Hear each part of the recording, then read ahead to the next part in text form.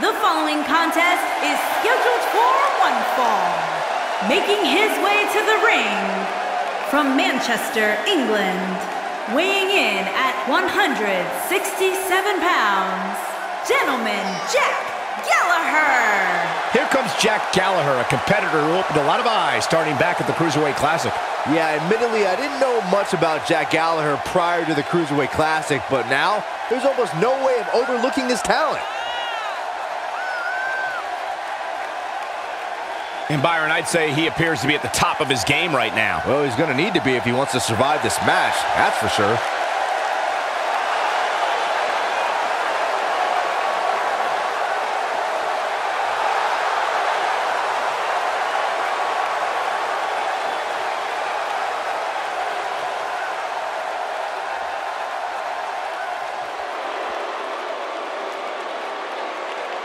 And his opponent, accompanied by Drew Guan.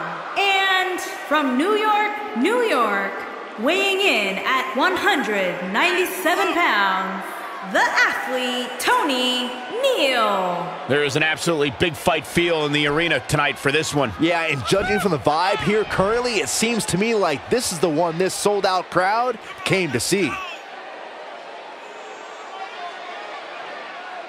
This is without a doubt a big-time match for him, guys. I don't think he can afford to come up short in this one. I'd say that statement is more true now than ever before. That's how heated the competition here in WWE is right now.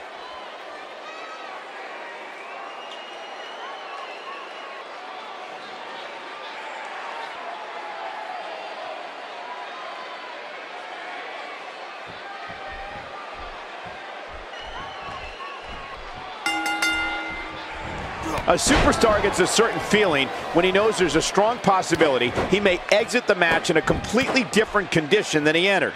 That's not exactly a comforting thought when it's your career. Man, this card is just packed with so many great matches, and this one is definitely among the most anticipated, I'd say. This crowd here in Miami can barely contain themselves, and I can't say that I blame them. This is going to be great.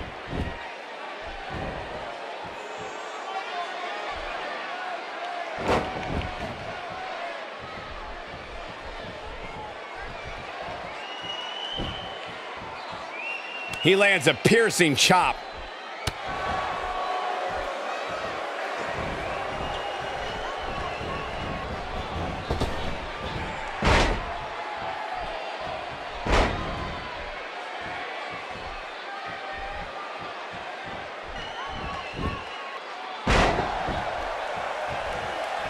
He lands a jarring forearm. Surprising with a chop.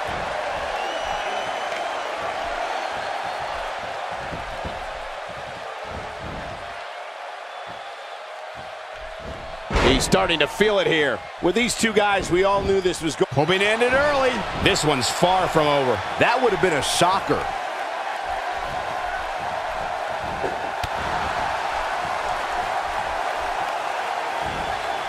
Nese now on the defensive. I fully expect him to bounce back, though. This is the type of one-on-one -on -one atmosphere where he thrives.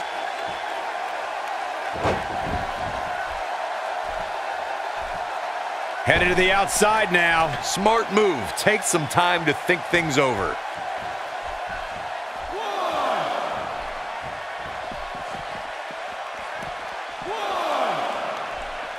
Pays for that one. Now that's striking with pinpoint accuracy. You can't take too many of those. Wow, missed by a mile. Had that one well scouted.